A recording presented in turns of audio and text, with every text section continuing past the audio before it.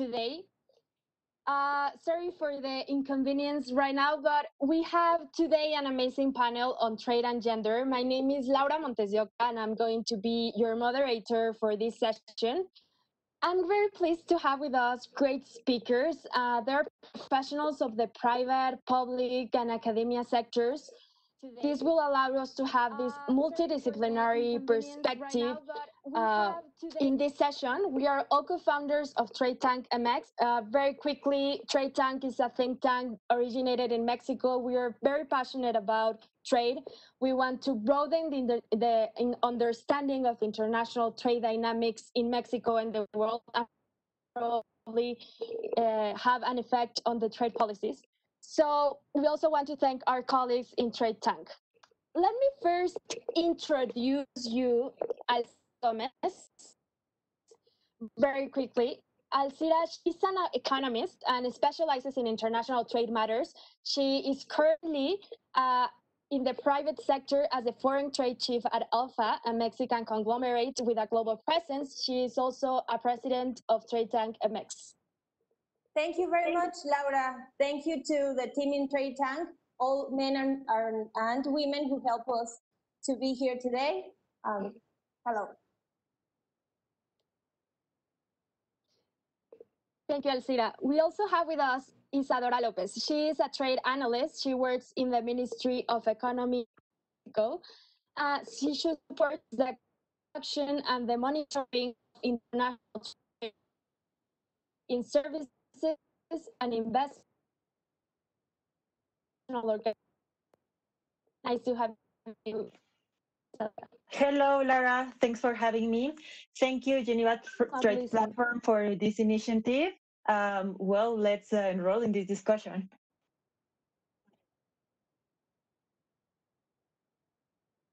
Thank you. And finally, we have, uh, well, Renata Zilli, she has worked for almost a decade in academia in global affairs and the political economy of the Americas. Currently, she studies her second master's degree in economy at the Johns Hopkins School of Advanced International Studies in Washington.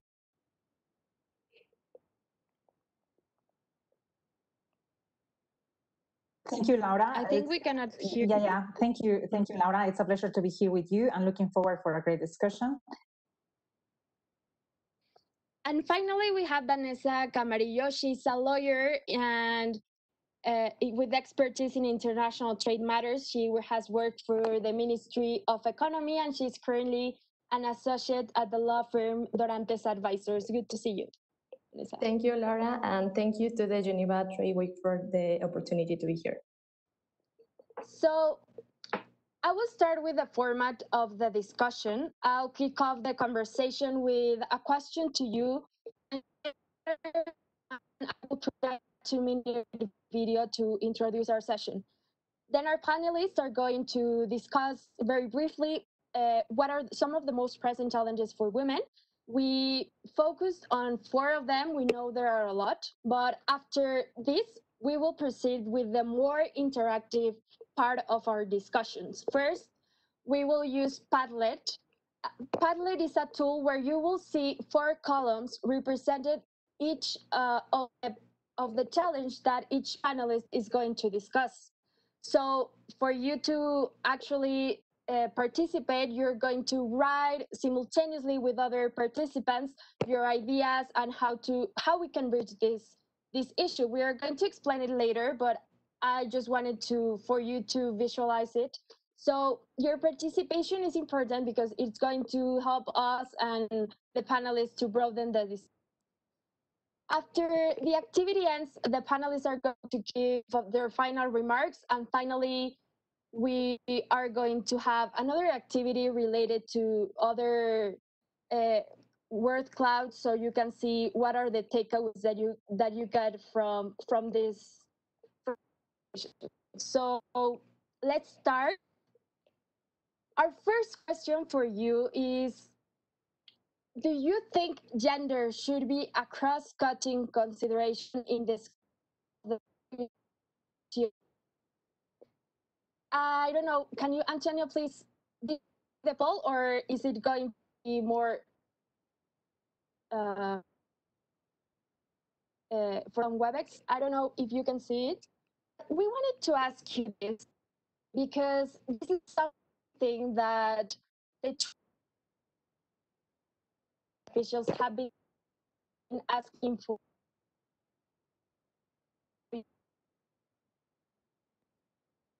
so, so maybe we're not seeing right? No, we're So not I having a think- this is more of ah, okay perfect. So i can say to you that by 2020 we can say that this is really a cross-cutting issue in the wto effectively this has been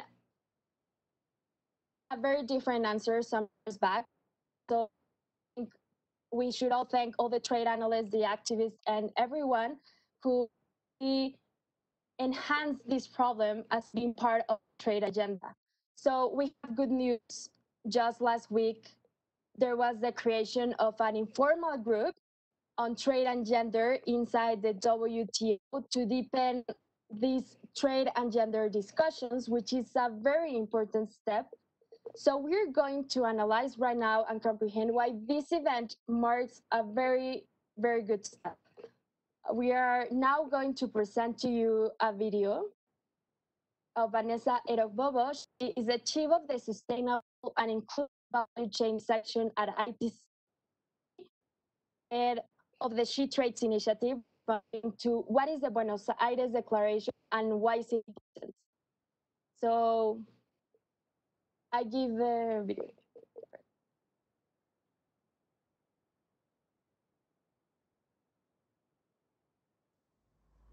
Hello, my name is Vanessa Erogbogbo. I'm the Chief of the Sustainable and Inclusive Value Chain section at ITC and the head of the She Trades Initiative. Now, the Buenos Aires Declaration on Trade and Women's Economic Empowerment, adopted at the 11th World Trade Organization Ministerial Conference in 2017, is a collective initiative to unleash the full potential of women in trade. It was spearheaded by the International Gender Champions Trade Impact Group which is co-chaired by Botswana, by Iceland, and by the International Trade Center. Today, 127 WTO members support this initiative. But why was this declaration so important? Well, first, uh, for the first time, gender was placed at the heart of the multilateral trade agenda. Second, we set ourselves a really comprehensive agenda. The Trade Impact Group has shared good practices and advanced recommendations on key themes such as collecting and analyzing uh, gender data, public procurement, global value chains, financial inclusion, free trade agreements. The findings of these discussions will be found in a publication produced by the Trade Impact Group to guide policymakers.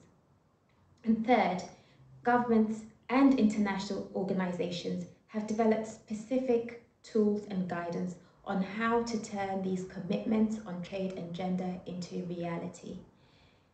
That includes ITC's own She Trades Outlook, a trade and gender policy online tool which is already available for 25 countries and going global. This has been a massive step, but it's also the beginning of a much longer journey.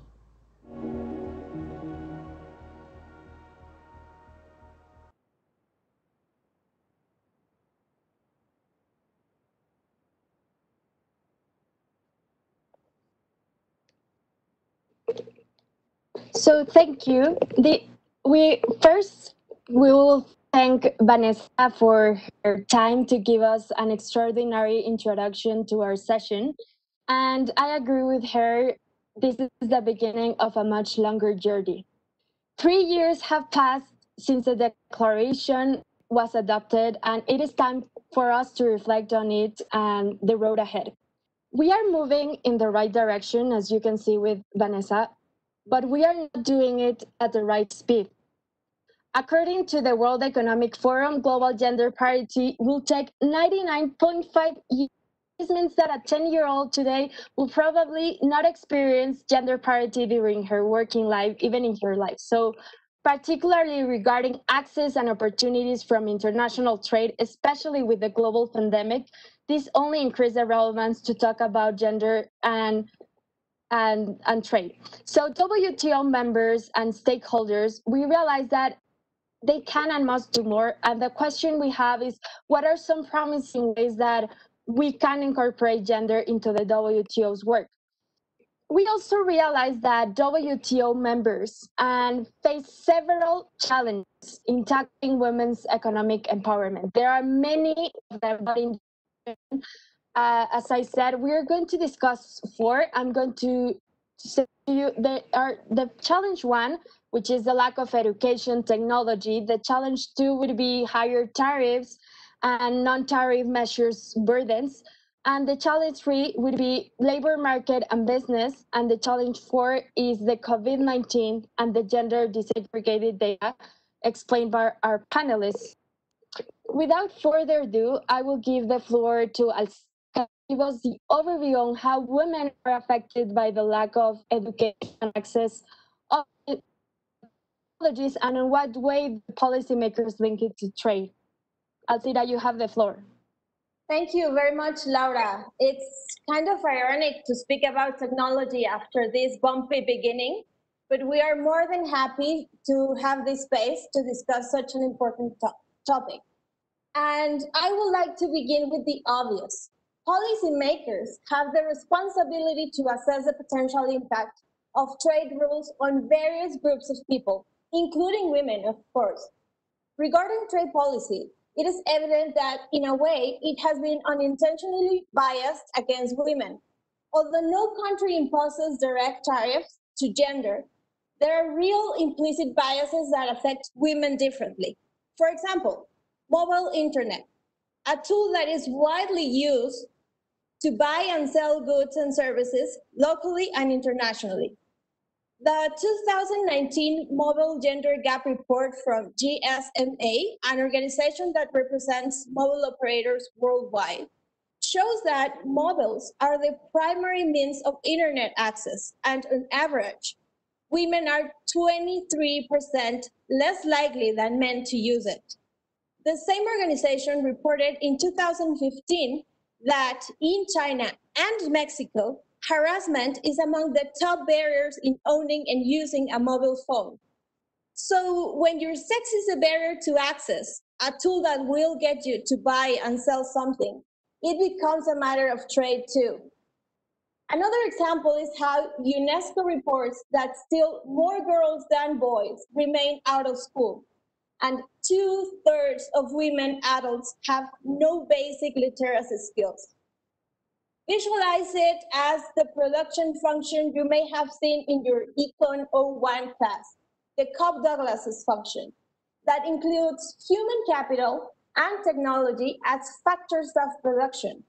To the extent that these factors, say access to education and technology, do not represent optimal contributions on half of the population, us, women, then the productivity will be below its possibilities. The acknowledgement of this relation is thankfully one tangible thing that we take from the Joint Declaration on Trade and Women Economic Empowerment on the occasion of the WTO Buenos Aires Ministerial Conference. It is a step that policymakers should not take back. Acknowledging and improving women's access to opportunities, removing barriers to their participation in national and international economies, contribute to better international trade and investment as economic growth engines for all countries. To finish this intervention, I'll say that access to education and technologies help bypass the trade barriers faced by women just because they are women. Also, in the end, trade liberalization is also linked to greater accumulation of education and skills at the time that increases gender equality. Actually, one recent publication from the World Bank and the WTO called Women and Trade, the Role of Trade in Promoting Women's Equality, calls this relation a virtuous cycle It's a win-win situation.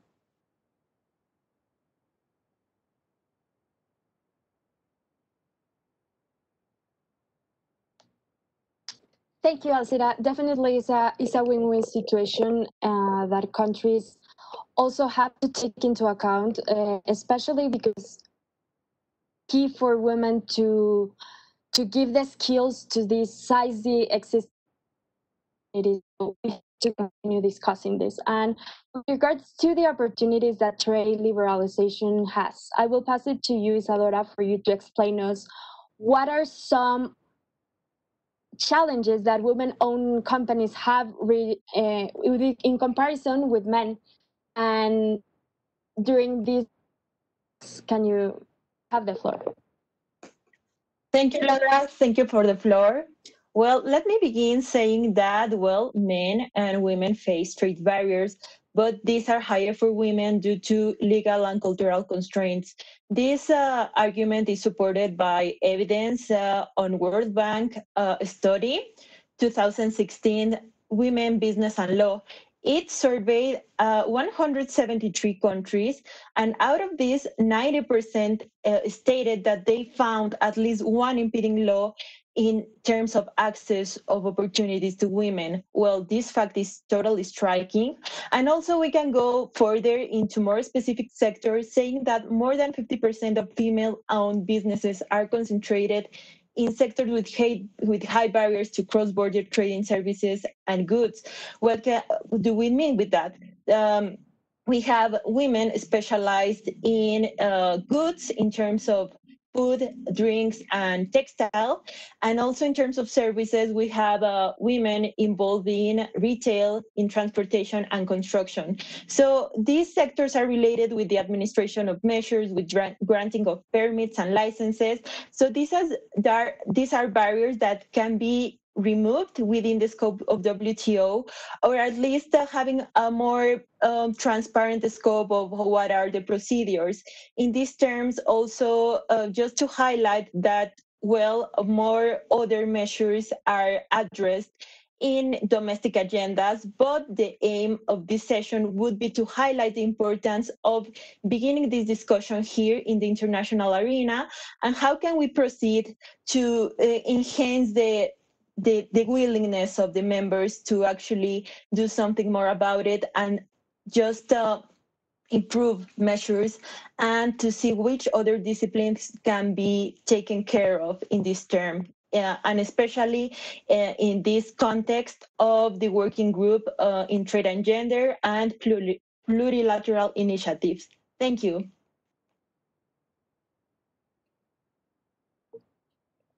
Thank you, Isadora. Definitely, we have to continue discussing this issue, and I think this is one of our motivations with, uh, regarding this panel because we wanted to highlight how we have all to work together, whether it's multilateral or governments, national. So we have also to recognize that women ha have more legal and regulatory barriers to women. So next I will invite to join Vanessa and linking it to what Isadora said, we are seeing this uh, barriers, but we are also seeing a disadvantage in the in the job conditions of women. Can you explain us more? Yes, Laura. Uh, thank you. Uh, here, I need to say that the core issue in this matter is that women have to face several issues in labor. Women are less likely to participate in the labor market than men around the world because many factors affect female labor force participation. Women are more likely to be unemployed than men. In 2017, global unemployment rates for men and women stood at 5.5% and 6.2% respectively. It was considered that this could remain relatively unchanged for 2021. But in the light of the effects of COVID-19, uh, these rates will change considerably. Uh, my colleague Renata will discuss further in this matter. I need to add the gender wage gap is estimated to be 23%. This means that women earn 77% less than men. So these figures understand the real extent of gender pay gap, particularly in developing countries where informal self-employment is prevalent. it is estimated that gender gaps cost to the economy some of 15% uh, of GDP. For example, the main factors that are determinants of female labor force participation are related to religion, to cultural and social norms, access to education, income level, fertility, institutions. Uh, here in institutions, we need to include legal framework, enterprises, labor union, and others. Uh, other factors are sectoral base uh, of the economy. We have to consider agricultural, industrial, and service base. We have to face other um, factors like political regimes, and in some countries, war and conflicts. These are only some of the issues of the many that women have to face around the world. Thank you, Laura.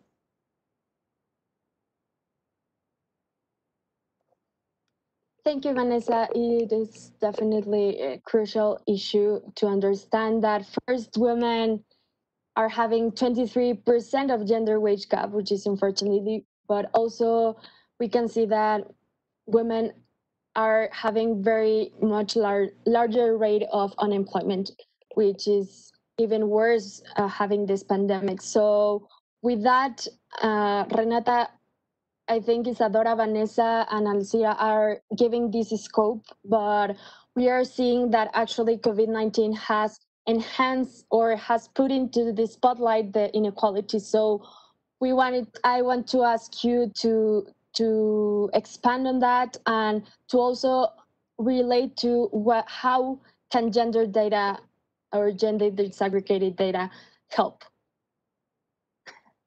Thank you, Laura. Well, as we have learned today from Vanessa Erogbogbo, one of the core aims from the Buenos Aires Declaration is the importance in the analysis and regulation of gender data. Excuse me. And if this was already a pressing issue before COVID, the current evidence reveals that the pandemic is hitting women even harder.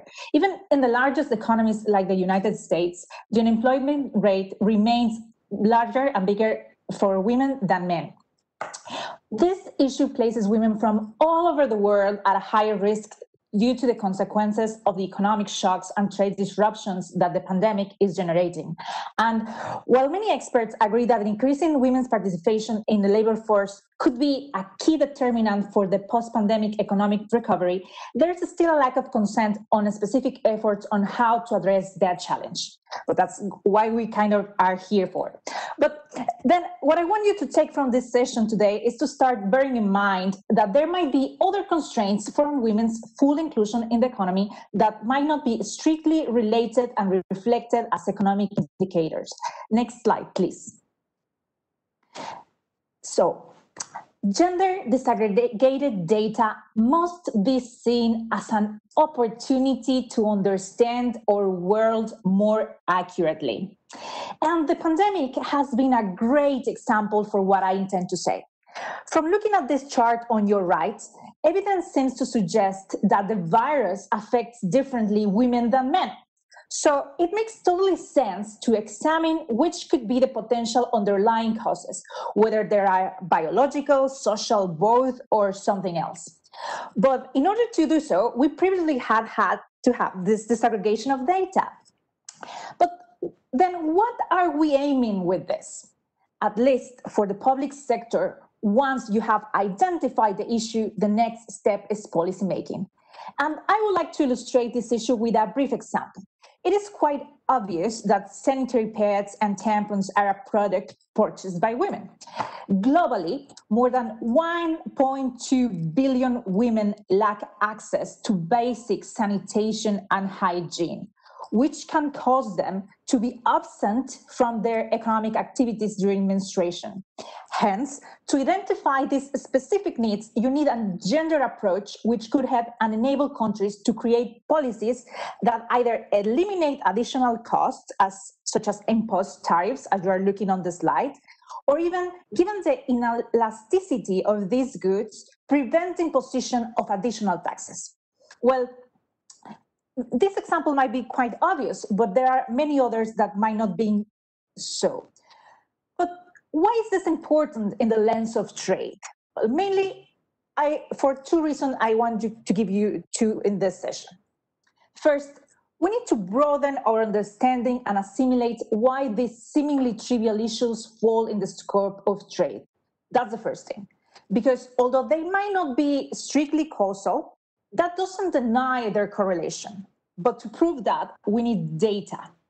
And second, it is essential that we challenge our perception that gender neutral is in fact neutral.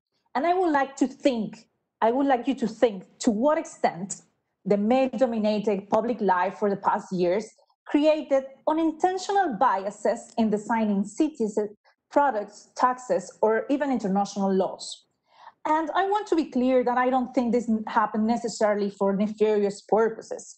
But what I'm saying is that in order to achieve greater gender equity, perhaps we should ha start having the conversation that we have differences that may have not been taken into account originally. And maybe neutral might not be entirely neutral and perhaps there is an intentional neutrality skewed towards men.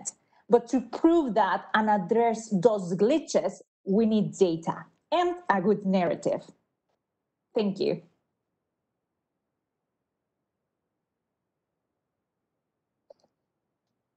Thank you, Renata.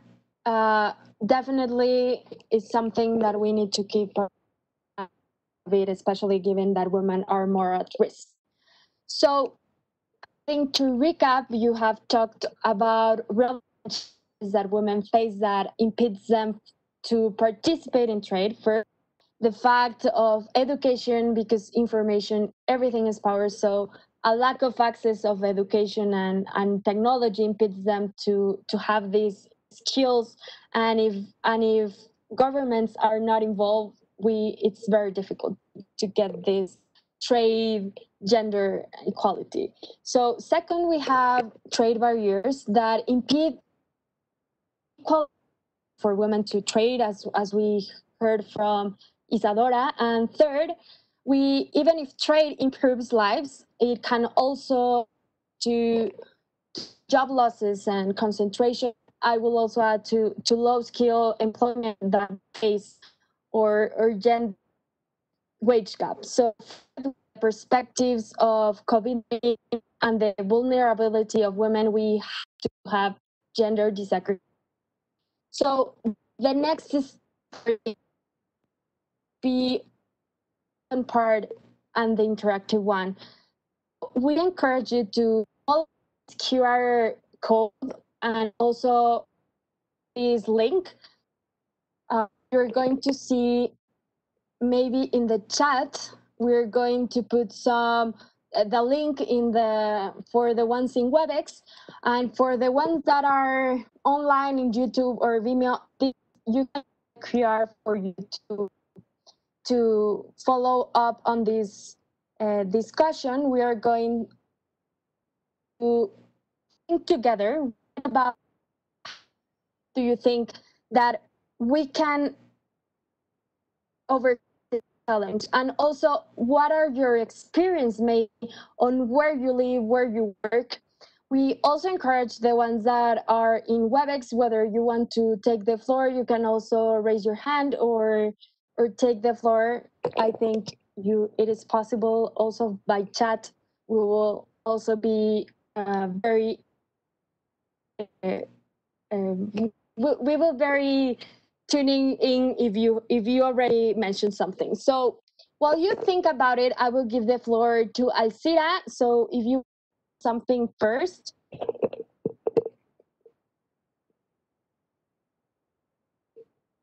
Sure, sure. Of course. Uh, maybe it's a good time to watch the Padlet. Exactly. Well, this is, it's very important to ask ourselves and everyone involved in the conversation. How do we think women in trade uh, life has, is, has become a challenge? How do we see it in our in the place where we work or where we live? Do we have any cases of that sound familiar? I may not personally have a particular case regarding trade, but I can see that how emergency technology can be turned from a threat to an opportunity for women with the correct cooperation between governments and stakeholders. For example, in 2017, a study from a recruiting startup called Apply or Apply found out that only nine of the 109 tech startups in Mexico had a woman as CEO, and only 20% of them had a woman among their co-founders. Yet, some actions have been taken and need to continue to be taken, like the OECD initiative called the Niñas STEM Pueden for Mexico, which means Girls STEM Can. And this is a gender network to promote, help, and incentivize women to pursue STEM professionalization. So actually, this is why I believe that affirmative actions help. Affirmative action is the, the policy practice of favoring individuals belonging to groups known that have been discriminated against previously, such as the seeking of job positions in equal distribution, also known as parity, or granting certain incentives or scholarships for women.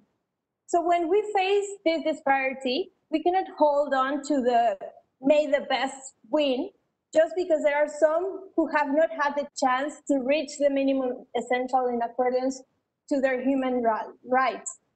Um, so yes, I think affirmative actions are important. And actually, as a result, result of this STEM Girls program I was telling you about, one good example is that among the G20 economies, economies from 2010 and 2015, India, Mexico, and Turkey reported the highest shares of patents invented by women. Also, Mexico has published the Ley General para la Igualdad entre Mujeres y Hombres, which is the general law for equality between women and men. So at state, at state level, we recognize gender equality. Um, in conclusion, there is proven evidence that shows that in lower income countries where gender gap in education and labor market are higher, the potential for innovation and investment decreases. So we know that it's not the way to go. The, way we need to go is the opposite, to address these in incentives and do better for women in trade.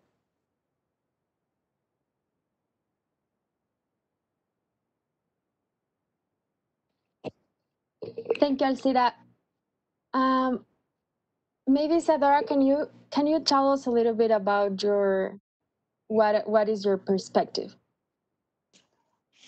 Well, uh, my perspective of bridging this issue into the WTO scope um, is, uh, well, in my, personal view, I deal with the four modes of supply. So I'm um, really used to, to dealing with measures that sometimes can be discriminatory.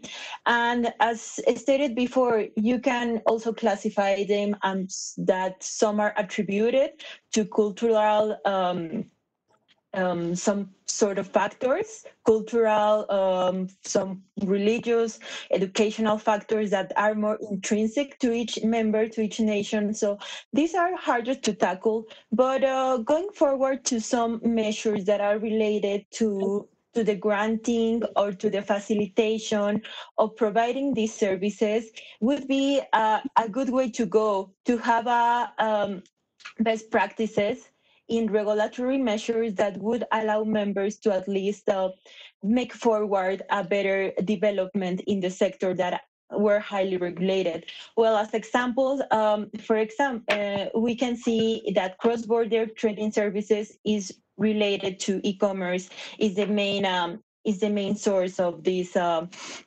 border um, non non-resident transactions. So in this case, I see that there is a big uh, lack of education and adoption of this method of business that could be improved by some uh, initiatives mentioned in WTO. Also, as another example, I see bans in traveling that uh, women need permits of the husband to actually uh, have these um, to do so to, to, to actually travel no matter which purposes. In terms of uh, establishment they need permits they need uh, licenses. So in terms of also in providing services abroad they need some uh, criteria, and qualification uh, related. So in these terms, we have uh, certain initiatives in WTO that can help. I'm not saying that is a, is a panacea, that it's going to help us all to, to remove all non-tariff uh, barriers, but still it's a good way to actually learn from other members best practices. And in this case, is establishment of the working group in WTO that has the aim of sharing with other members uh, measures and policies that have succeeded. And in this case, we have Canada that has a global comprehensive framework that states the the gender approach and it touches as well uh, trade. So in this case, we see that we have a lot to learn and we can um, have baby steps with uh, ameliorating some measures in terms of administration that can be improved. So in this case, I applaud and I see a bridging alternative in WTO working group and a plurilateral initiatives that are related to e-commerce, to investment facilitation, and to domestic regulation to do so. Thank you.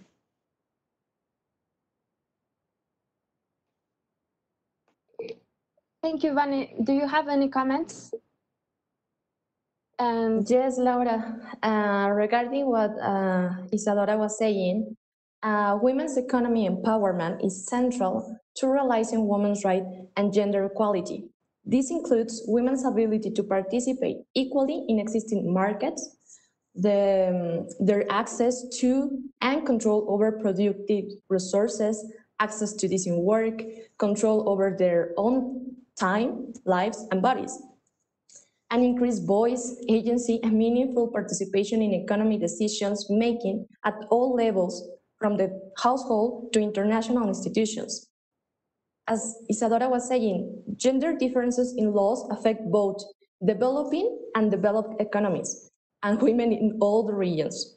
Globally, over 2.7 billion women are legally restricted from having the same choice of jobs as men. Uh, of 1890 uh, economies assessed in 2018, 104 economies still have laws preventing women from working in specific jobs. In 59 economies have no laws on sexual harassment in the workplace, and in 18 economies, husbands can still legally prevent their wives from working. We need to change that, this panorama and increase the opportunities for women to participate in labor force. Evidence shows that trade can help women uh, to move into the formal economy and prevent some of the issues that I have already explained. As people is responding in the Padlet, it's the, uh, because of discrimination, is because of discrimination and all these factors that I am mentioning. Thank you, Laura. Thank you, Vane. Renata? Yes, thank you. I have answered a couple of questions uh, in, in the Padlet, and I invite you to look at the link of the of the data tracker uh, later for your own purposes like and to see how other relevant initiatives that have been that are in place. Uh, but for, of course like what are according to to my perspective which are the main challenges? Well i think in general terms there could be said that there could be two big challenges. First of all resources and second international cooperation Countries need different types of resources, like physical, technological, which is the capital or the K, borrowing the same example from a Assyria's production function. Then the human capital, that is labor. But in this specific case, think about the labor requirements and the level of education and skills needed to collect and interpret big data. And well, the, the, the, third element for, at least for some economic growth models, is the knowledge or the ideas factor. But the only way in which countries, specifically the small ones, could expand their possibilities frontier in terms of capital, educated workers, both mostly on new ideas, which also can be read as science and development eh, and technology, is through trade and international cooperation. And, and I'm sorry, sorry, sorry. Uh, there, there's another question there. And yeah, well, indeed, uh, the data economy provides many opportunities. but the crucial, and, and I know like technology has been a double razor blade, but also one most thing that technology has always been the engine of progress for our civilization. As I was mentioning earlier, one of the advantages that the data economy provides is to understand our world more accurately. The higher level of detail, the more resources to understand a particular phenomenon, hence to understand our world. Thank you very much.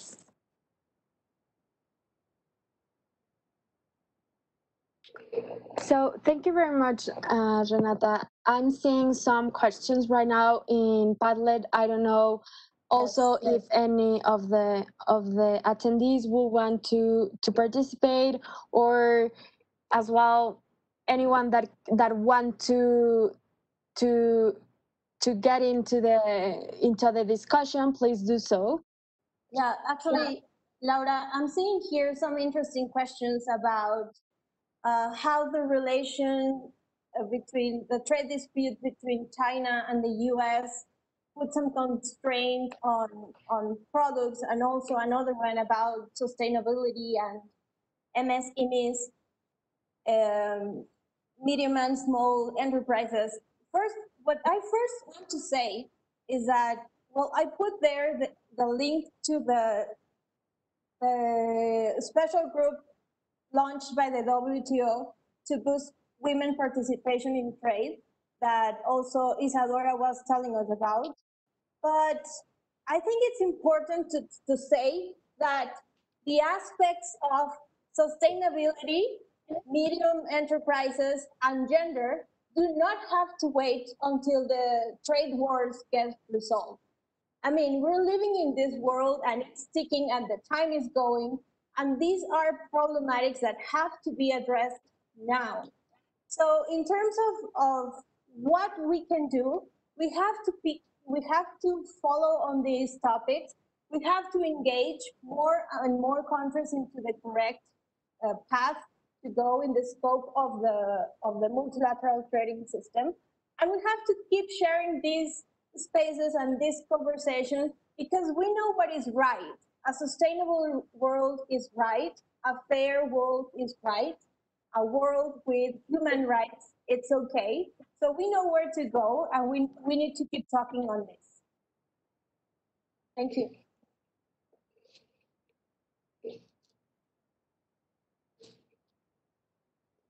Thank you.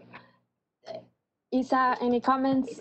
Uh, yes, sorry, sorry for, sorry for interrupting you.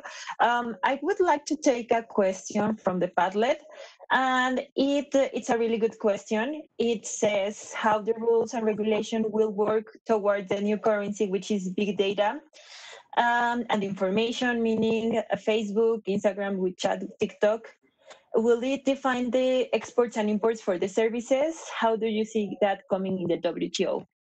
Well, um, uh, okay, you see me? Okay. Um, so it's a really re- relevant question because um, actually cross-border trading services has the, in terms of the four modes, is the one with the least restrictions in terms of non-tariff uh, measures or regulations, because you don't need to get established, you don't need to travel to other country to to get that ser- that service, you don't need to to you don't need to have this movement or this present interaction. And right now with COVID times, it has been really relevant. And we have seen a lot of push in this industry regarding the current context. We have been in uh, online shopping, we have uh, purchased um, books uh, videos, we have uh, used the streaming apps. So all of this is encompassed and can be compilated into um, provisions on e-commerce that are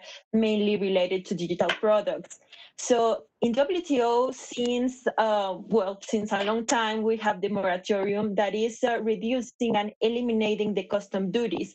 That means that you don't have to pay any duty, any amount of money due to this transaction, to this uh, electronic transaction. Um, in this case, uh, the moratorium provision has been replaced, has been um, duplicated into other agreements such as USMCA and other agreements that Mexico has, but it's really standard. So um, well, the thing in WTO future, what do we see? Um, since, since the world it's a moratorium and it should have an end, but it hasn't been so far, we could um, just uh, follow up, maybe have a, another different um, provision that it's more relevant, that is permanent. And where can we fit in? We can fit in in the e-commerce joint um, um, initiative on the works on that, on the text currently negotiated, ongoing negotiated. And uh, also in within this initiative, we can also use and push some cooperations uh, activities that would try to include women into this sector. That, as Alcira said, we have some uh, educational and uh, we have also impossibilities we have trouble getting access into internet but uh, at least there are some key issues that could be worked on to actually include women in the sector. So the future of um, all this sector it's uh, by women and within this initiative. Thank you.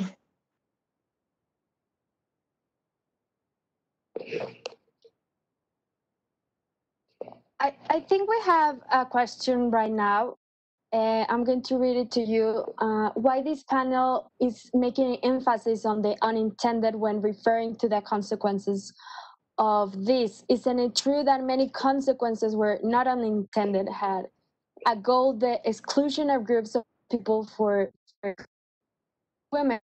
Uh, I would invite maybe to for uh, for for the one that we write it if if you can contribute maybe we want to hear you as well. And maybe any panelists if you want to comment on on this uh, yeah i would jump into the conversation like to, to jump the answer like to answer. And um for, for sure like i understand that we've been saying that it's unintentional and and and perhaps you, you, your point is also very right. I think that for in for in for in specific purposes, for some purpose for a specific country and a specific place and time, we cannot generalize like that. This happened in every place, but it's true that there there are also policies that have been geared in towards um, limiting the the the rights or the uh, or, the, or, women's participation of vulnerable vulnerable groups. So, but what we were trying to say, like in general terms, is that inter, like international trade and international law and and sometimes even this this the design in planning of of things on how system works doesn't account to the like to actual necessities or or even biological circumstances of, of like that separate us between women and men. I I, I totally agree with with your with your question, but I think that. Uh, we need to in order to like move forward the conversation i think we have to to to to lead the discussion into that kind of sense or the, like uh, of course recognizing and acknowledging the, our differences but trying to think in terms of biases on or or how like our cognitive biases lead us to think in in, in towards some way. And that's why i was saying like perhaps thinking we have to challenge the idea that gender neutral or neutrality is is is, is actually neutrality you know? and and that that's why I, I believe that specific differences in terms of biological needs and or terms of uh, i don't know uh, things that refer to our own activities for instance women it's like it's two-thirds of the population like two-thirds uh, women uh, take children to school, for instance, and that that particular issue makes um, women's way of transportation completely different than men. For instance, I don't think that it was like completely for some places. You, there are papers I've read. I've written some. I've read some papers about how also roads pretend to exclude women from certain villages. But what I'm saying is that if we think in terms of the pandemic on travel disruptions, we, we think always in terms of aggregate levels. But what if we start like uh, disaggregating things in terms of patterns or habits or preferences or childcare services or healthcare services that women tend to perform like to a greater extent than men?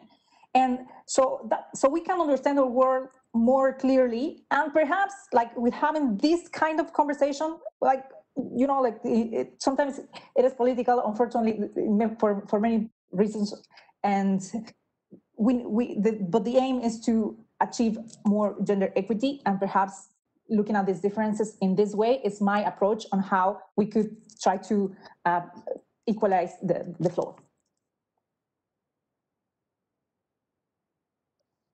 Yes, totally. And there, and as you said, I, I think the key word that you mentioned is the bias applied to women because they are women, and there are studies that take up on that. But thank you very much for the question. And, and actually, because this is not a solved problem, it is why it, we need to have these spaces of, of discussion. I don't know, Laura, if we have time to continue with Padlet or you want to move forward in the presentation. Yes, I think uh, we already uh, covered uh, the time uh, or assigned to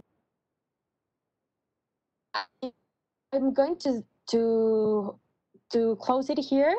We're now going to, to the next activity. This is part of the next slide, please. So here it's kind of more of what for you would be the relation of trade and gender and also the multilateral trading system. We want you to have this opportunity for you to write maybe in a few words in a sentence what is for you this activity we you also can use the the qr code and the link that will be here so please we are uh, can you please put the screen for us to see maybe results? So we're starting to, I think in this part, one of the key issues here is that we are having these discussions about trade and gender, about the challenges. Uh, we we are seeing that the discussions at the multilateral level, what what, what the initiatives that are being done in the multilateral. For example, she mentioned 25 countries that are participating in the where they are actually having desegregated data. So I think it's to, to realize that the time is now not only multilateral, but also to do it in the national level. And how can we achieve that? I think it's with knowledge, with all the information that it's possible to gain. Um, we are seeing some words, trade and gender.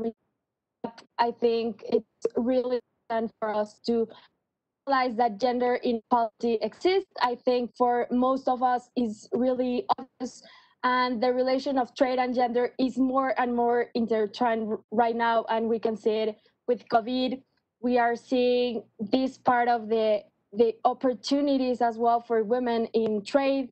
We are seeing that it is definitely a challenge for women if they don't have the same uh, opportunities because it's not about also equality. Some some will argue that neutrality is part of these uh, rules, but we can also say that, in fact, it may be not the case that even when there's inequality, women have always been in a position of not having this equality.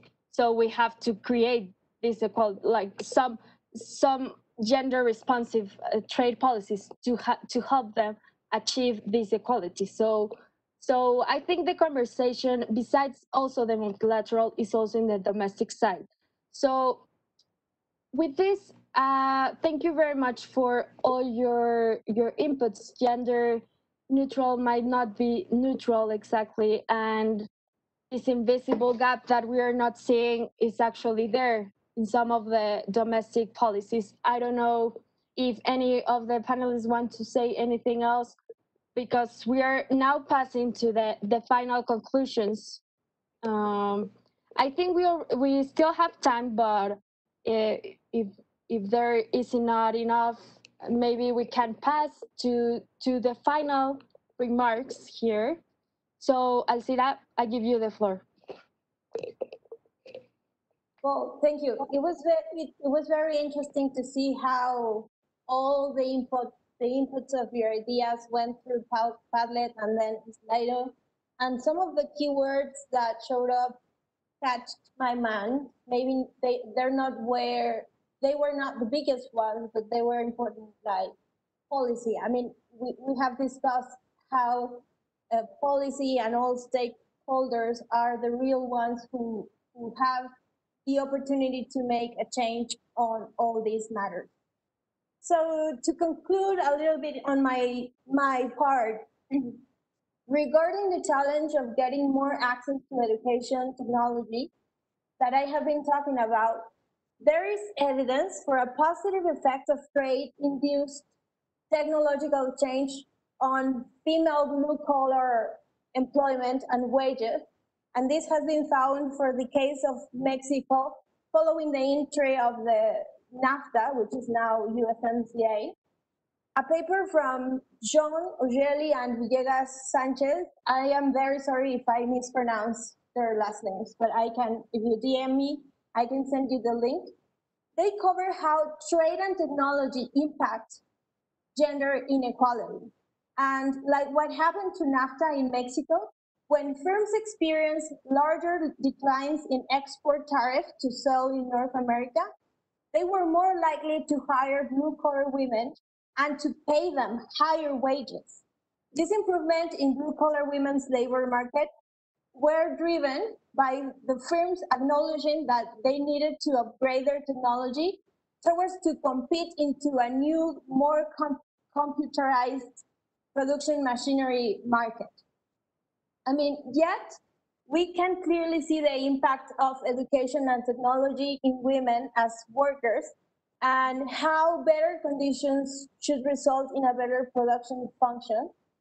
I'd like to also leave open the comment that there is another barrier that we have not discussed here. Uh, the same study quoted and mentions that employers preferred hiring male directors considering characteristics as maleware, higher productivity, and higher adaptability. So in terms of gender equality, in trade, there's another battle besides the one held in productive facilities and is how our male counterparts identify or see us as women. Mm, an open question here could be that in another level, executive level, how many women ambassadors and members representatives are in the WTO? How many women are negotiations in trade? The number is getting higher, but we have to wonder if is there a crystal ceiling that we need to, to break. I'll say that this topic matters and discussions on trade and gender matter. Not for nothing, goal number five of the Sustainable Development Goals correspond specifically to achieve gender equality, meaning substantive equality that beyond efforts of equity looks forward to remove structural barriers. In conclusion, much has changed since the 11th WTO Ministerial Conference and the Declaration of Women and Trade. And the recent created working group is a huge step. Gender does not have to wait until trade wars get resolved this is the momentum that we need to take on too. Uh, we all have a commitment to follow and work on this ahead for the next ministerial conference. And as part of the civil society, I'm sure that all the trade tankers, as, as someone baptized us, will continue to advocate for this, to advocate for a more inclusive trade and a better trade. Thank you all for the space. And thank you all for joining with your ideas. Thank you, Alcira. Uh, now I will give the floor to Isadora. Thank you. Thank you, Laura. Well, this has been for sure an interesting discussion, multidisciplinary, and covering some topics that are uh, intrinsically related. So maybe let me touch on some of them. But uh, well, uh, beside this uh, final remark, I would like to also point out that uh, well, I have been referring to um, mm, non-tariff measurements mainly because uh, well, I'm focusing in the in services. But in terms of goods, yes, there is another conversation regarding how to how to allocate this uh, lack of resources if, we uh, reduce uh, tariffs. Well i think this is this is a general problem not specifically to high tariffs affecting women. Uh, high tariffs in goods still exist. They are uh, they uh, prevail in relevant sectors in some um, agriculture um, in food um, and they need well, there need to be a, a, prog- a progression towards the reduction of tariffs. But uh, in this case, we are just stating that um, these, uh, well, that women are affected because they tend to still be in this, these sectors.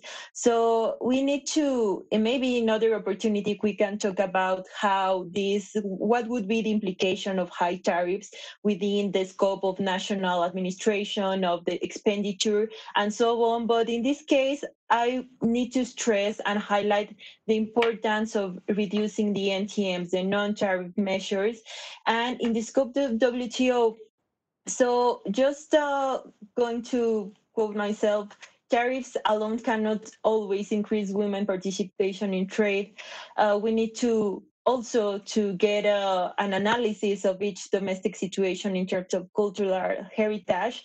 But one great step has been the establishment of actual working groups in WTO. And um, and for example, um, the importance of this, of the good practices, of coming to understanding frameworks would lead us to actually um, implement higher commitments. These commitments will allow us to actually, at some point, we should aim to include into these agreements provisions regarding uh, national le legislation, regarding consulting processes, regarding monitoring and evaluation. So these are variables that are to be seen in the future. But um, well, this is a long way to go, but I consider that we are in the right path. Thank you.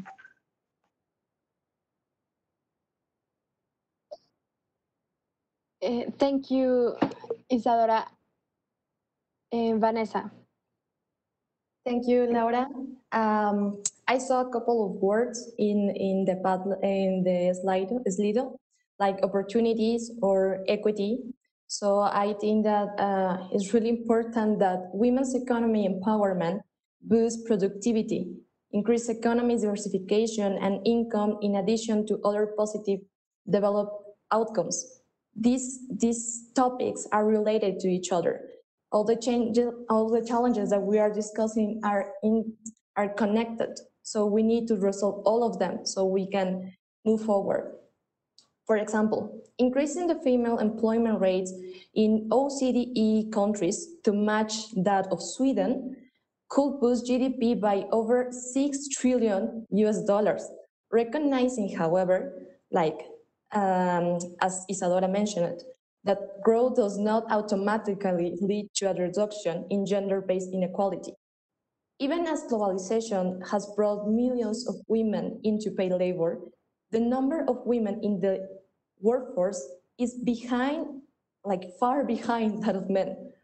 Gender inequalities have also concentrated women at the bottom of the global value chain.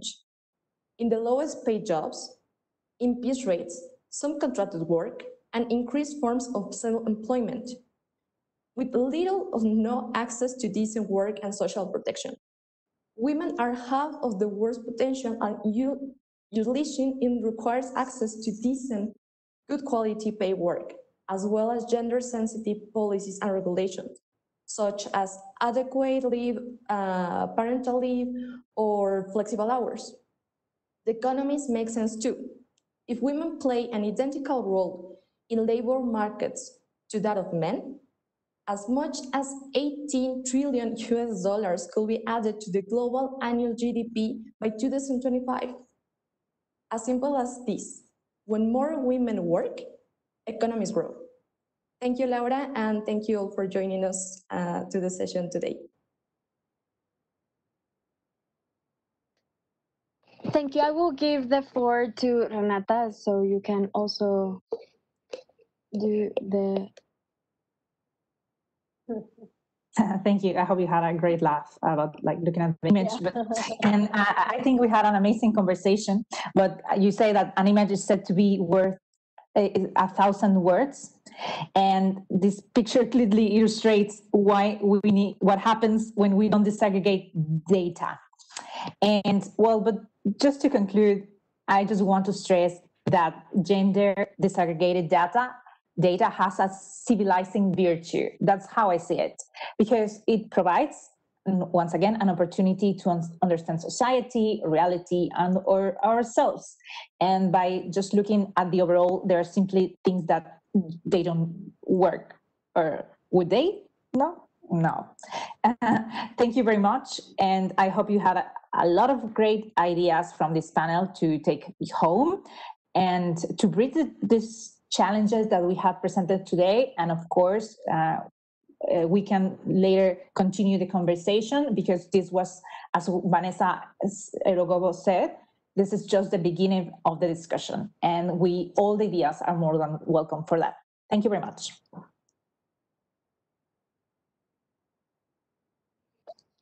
So thank you, Renata. I think um, I will try to summarize some of the ideas that that you presented, but I would agree. Uh, well, I would conclude as well, and and the key takeaway that I I get is that we are moving also in the right direction.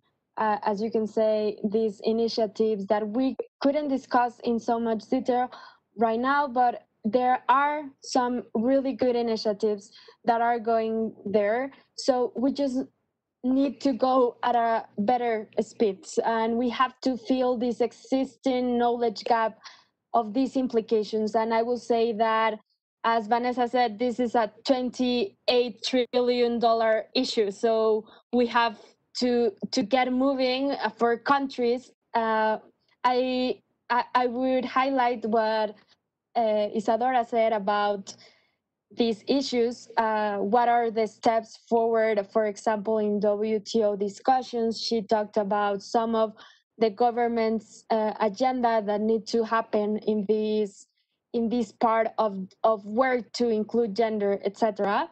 It's also a question that that we are are leaving you with, and also countries and stakeholders need to do more. We want to end with that idea that more dialogue needs to happen. And especially we need to continue incentivizing for governments, for academia, etc., to start working on data.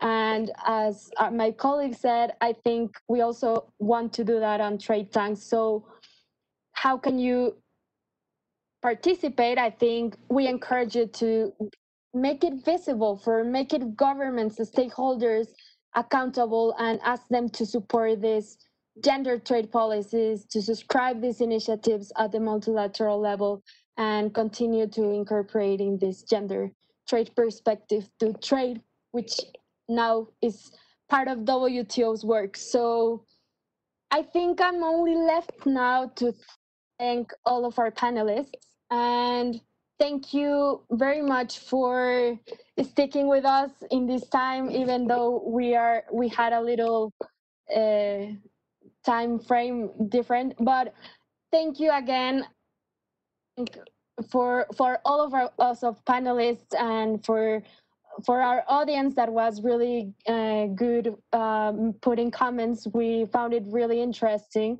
We thank again the Geneva Trade Week uh, team for all your support always and all the, the people that were in our discussions previous to this panel. So we invite you to continue being in contact with Trade Tank. And on behalf of the organizers, I think there's going to be a post-session survey, which is going to be available on your screen or post-session.